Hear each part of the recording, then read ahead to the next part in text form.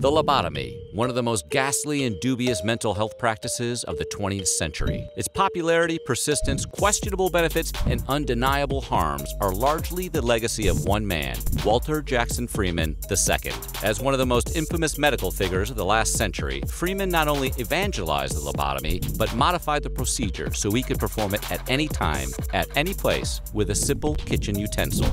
Today on Weird History, we will examine Walter Freeman and the lobotomy. But before we get started, be sure to subscribe to the Weird History channel. Now let's get cracking. Although Freeman eventually became the most well-known spokesman for lobotomies, he didn't invent the underlying concepts or procedure. That honor is credited to Portuguese neurologist Antonio Egas Moniz, who pioneered a procedure he called a leucotomy, in which he drilled several holes in a patient's skull and extracted slices from the frontal lobes of their brain. He claimed it permanently reduced violent, manic, and psychotic behaviors. And his claim was believed by enough influential people that Moniz was later awarded the Nobel Prize for his work, an award questioned by many at the time and even more today. In 1935, Freeman and Moniz had a chance meeting at a neurological conference in London. Freeman was inspired by Moniz, calling his work brilliantly conceived and whose importance can scarcely be overestimated. He considered his new pal a sheer genius they soon formed a mutual admiration club, with Moniz acting as mentor and idol to Freeman. It was a professional crush. Freeman was intrigued by Moniz's approach because it appeared to succeed where Freeman had only found failure. Freeman was relentlessly ambitious and had spent years investigating the cause of mental illness based on an organic model. But for all his time and effort, he had produced no results. Moniz had a different fundamental belief that mental disorder originated from the wiring within the brain. Snip the wiring, and the disorder would be removed. Or so went the theory, and it was just that a theory. The medical establishment of the time was not entirely convinced of that theory, but Moniz was sure, if not downright cocksure, about his approach. We're not sure how Moniz backed up all his smack talk, as his data is what we might now call flimsy. On September 14, 1936, the first prefrontal lobotomy, pioneered by Moniz, was performed in the United States at the George Washington University Hospital. This was less than one year after Moniz conducted his very first procedure in Lisbon and less than seven months after Moniz completed his last test. Walter Freeman did not perform that first lobotomy in the U.S. He couldn't because he never had a license to perform surgery. He was a neurologist, trained only to treat diseases of the nervous system. Freeman was forced to partner with his friend, neurosurgeon James W. Watts. Together, they performed that first procedure on 63-year-old housewife Alice Hood Hammatt of Topeka, Kansas. Hammatt had been suffering from both insomnia and what we might now call mixed bipolar disorder. Freeman directed the hands of Watts during the operation, it was considered a success, at least by Alice's husband, who claimed the remaining five years of Alice's life were the happiest he had ever seen her. We have not found evidence of anyone asking Alice how she liked it. Freeman and Watts were eager to make their own names after performing the first lobotomy in the U.S. They adapted Moniz's surgical procedure and called it the Freeman-Watts Standard Prefrontal Lobotomy, or more casually around the water cooler, the Freeman-Watts Technique, or more persuasively, the Precision Method. Precision sounds great. This procedure must be great. Freeman, with his sidekick Watts, kept busy with their new procedure. By 1942, they had performed over 200 lobotomies and claimed 63% of their patients had improved, 24% remained unchanged, and 14% became worse. Freeman was restless and unsatisfied despite their new procedure. The Freeman-Watts prefrontal lobotomy still required drilling holes in the patient's skull, so surgery required an operating room, anesthesia, and trained neurosurgeons. This prevented the widespread adoption of their procedure because most candidates for surgery were in mental hospitals that had no operating rooms, no surgeons, no anesthesia, and no budget. The surgery was effectively unavailable to those most in need. Freeman wanted a new procedure, one that could be performed in a variety of settings without a surgeon. This would allow more patients to be treated. And since Freeman was not a surgeon, this would also allow him to perform the procedure on his own, at will, wherever he wanted. What a coincidence. In his search for an improved procedure, Freeman became inspired by Italian psychiatrist Amaro Fiamberti, who approached lobotomies by jamming a thin tube into a patient's brain through their eye socket. Fiamberti injected alcohol or formalin through the tube to dissolve brain tissue, accomplishing chemically what traditional lobotomies achieved mechanically. Freeman was intrigued with Fiamberti's novel access to the brain that eliminated the messy task of drilling holes in the skull. In 1945, Freeman began experimenting on cadavers to find a convenient way to mechanically access the brain's frontal lobe through the eye sockets. For his convenient approach, he used a convenient tool he conveniently found in his kitchen, an ice pick. The ice pick lobotomy Freeman developed became clinically known as the transorbital lobotomy, since it accessed the brain through the orbital bones of the eye socket. It required taking an ice pick, or more fittingly, a long, thin metal instrument called an orbitoclast or leucotome, and sliding it under the eyelid until it was stopped by the top of the eye socket. Then, with mallet in hand, Freeman struck the ice pick so that it pierced the layer of bone and entered the brain. He then tapped the pick two inches further into the brain tissue. Once in position, he gently pivoted the pick in a prescribed pattern. Then he grabbed the mallet and again hammered the ice pick an inch further into the brain. He then carefully maneuvered it in a different pattern. Then, if he deemed it necessary, he thrust the handle of the ice pick up to create a deep cut down the brain's center interhemispherical fissure. Then he carefully withdrew the ice pick, wiped it, and repeated the procedure through the patient's other eye. That may sound a lot like dancing the hokey pokey with somebody's cerebral cortex, but it had a logic. The depth of each thrust and the pivoting patterns were designed to lacerate the fibrous matter that connected the prefrontal cortex to the thalamus. If that could be done, it was thought, all your problems were solved. Freeman's less brutal transorbital lobotomy actually did solve some shortcomings of other, more brutal lobotomy procedures. However, most humans resist getting an ice pick stabbed in their eye. Thus, Freeman's transorbital lobotomy still required sedation. For this, Freeman recommended inducing unconsciousness via electroconvulsive therapy. Being cheap, fast, and easy, it was a better choice than anesthesia, at least for Freeman. In 1946, Freeman performed the first transorbital lobotomy in Washington, D.C. on a depressed and violent 29 year old housewife named Sally Ellen Ionesco. The procedure was considered a success, and the woman reportedly led a relatively normal life. Her daughter later recalled She was absolutely violently suicidal beforehand. After the transorbital lobotomy, there was nothing. It stopped immediately. It was just peace. So, whatever he did, he did something right.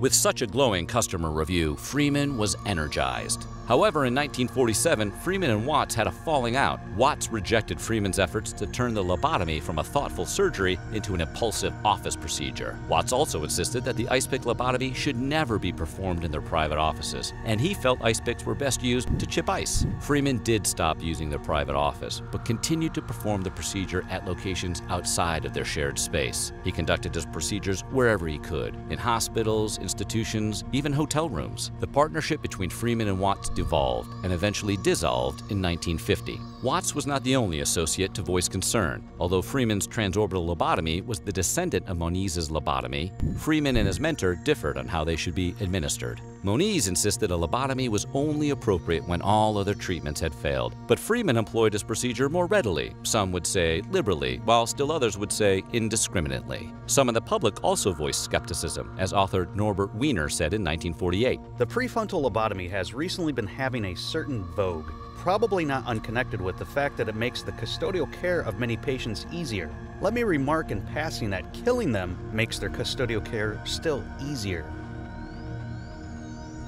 The widespread adoption of his lobotomy procedure became personal to Freeman, and he was ceaseless in pursuing the cause. He even toured around the country performing lobotomies. He searched for new patients everywhere, even people who may not have needed treatment. To make his procedure accessible, Freeman charged only 25 bucks.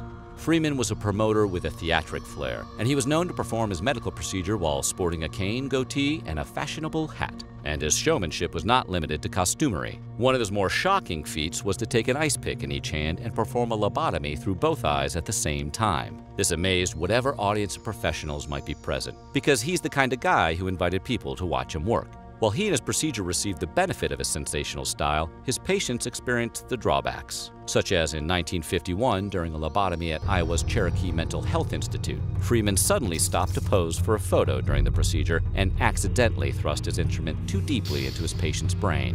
The patient died on the table. Freeman's behaviors were considered flashy, impressive, and disturbing, but he had little concern for others' opinions and even flaunted medical science's developments, especially in hygiene. Freeman was heard admitting that he didn't believe in all that germ crap. He often skipped washing his hands, wore no gloves or mask, and enjoyed chewing gum during his procedures. Pretty sassy for a guy who never received surgical training. His professionalism was soon questioned, which seems fair. Yet Freeman clung to the idea that he was helping, even as medical science moved forward without him. It wasn't just Freeman who promoted his name and procedure. The media loved the idea of an iconoclast genius with a simple breakthrough technique that gave hope to suffering thousands. The press offered doe eyed coverage of the man and his method. Freeman wanted his lobotomies to be less invasive and have shorter recovery times than the procedures they replaced. However, his new and improved method had its own risks. It was often true that the results of a lobotomy were life changing, but it was not always positive change. Many patients who received lobotomies were left in a diminished mental state and often had to be retaught how to eat or use the bathroom. Others lost the use of their limbs, became permanently childlike, or were condemned to a vegetative state and required care around the clock. Still others who hoped for a miracle cure never experienced any benefits since they did not survive. Approximately 15% of patients died from the procedure, and even when effective, relapse was common. Candidates for the procedure were selected from those considered to have mental issues, often defined relative to the norms of the time. This resulted in up to 40% of Freeman's personal patients being homosexuals seeking a lobotomy to change their sexual orientation. Also in his roster of patients, Freeman lobotomized 19 underage individuals, including a four-year-old child.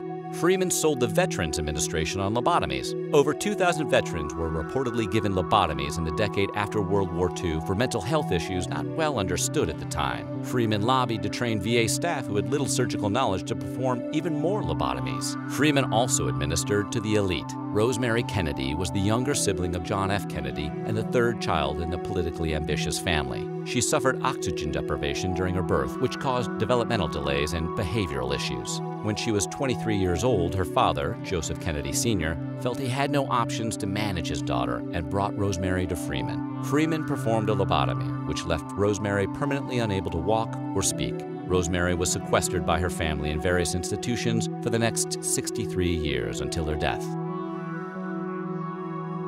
With the brutality and uncertainty of the procedure, one may wonder why anyone would seek a lobotomy. However, in the first half of the 20th century, there were very few treatments for people with severe mental health problems, other than locking them away. As such, many mental asylums and hospitals were overcrowded, and healthcare workers were overwhelmed with patients that they could not control. In a 2005 interview with NPR, Dr. Elliot Valenstein, author of Great and Desperate Cures A History of Lobotomies, explained why many were eager to try Freeman's miracle cure despite the risks. There was no other way of treating people who were seriously mentally ill.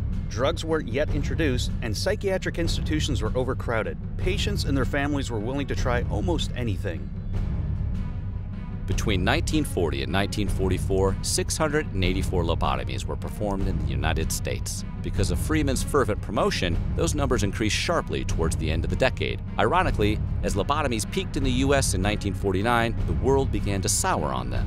The Soviet Union banned lobotomies in 1950 on moral grounds. Soviet doctors concluded the procedure was contrary to the principles of humanity, and through lobotomy, an insane person is changed into an idiot. Japan and Germany soon followed. Lobotomies declined throughout the 1950s as antipsychotic drugs were developed and proved superior in the treatment of mental illness. Yet as effective and non-invasive as the new drugs were, Freeman persisted with his practice of lobotomizing patients into the 1960s, even as most major hospitals refused to work with him. By the late 1970s, numerous countries and several U.S. states had banned the procedure. The practice disappeared around the globe, although continuing into the 1980s in France. By the time it became obsolete in the United States, approximately 40,000 citizens had been lobotomized. In 1967, Freeman performed a third transorbital lobotomy on his longtime patient, Helen Mortensen. It proved to be Freeman's final lobotomy, as well as Mortensen's. She died of a cerebral hemorrhage. She was his final lobotomy statistic. Freeman retired from George Washington University and started a private practice in California at the age of 57. He died in 1972 at the age of 76. Freeman's ambitions may have been fueled by a desire to add to his family's medical legacy. His father was a well respected otolaryngologist, and his grandfather was a medical pioneer, being the first American surgeon to successfully remove a brain tumor. Freeman had to fill great expectations. However, his actions may have come from compassion. In 1924, after completing years of study at Yale, the University of Pennsylvania, and across Europe, Freeman landed a job as director of laboratories at the Government Hospital for the Insane in Washington, D.C. It was there he became familiar with the dire situation of the mentally ill. There he witnessed the daily suffering and hopelessness of the hospital's 5,000 patients, housed in near Victorian era conditions and provided for with a daily budget of $2 per head. Their plight perhaps both moved Freeman and revealed a path for his ambition. Walter Freeman did not invent the lobotomy, nor was he the only person to administer the procedure, but he was the central figure in its popularization through his innovation, endorsement, and promotion. The lobotomy helped some and devastated or killed others. From the comfort of our current medical understanding, it's easy to see the lobotomy as a brutal and ineffective approach to problems that, at the time, had no other palatable solutions.